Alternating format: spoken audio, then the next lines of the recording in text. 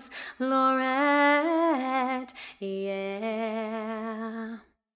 One happy birthday dot com.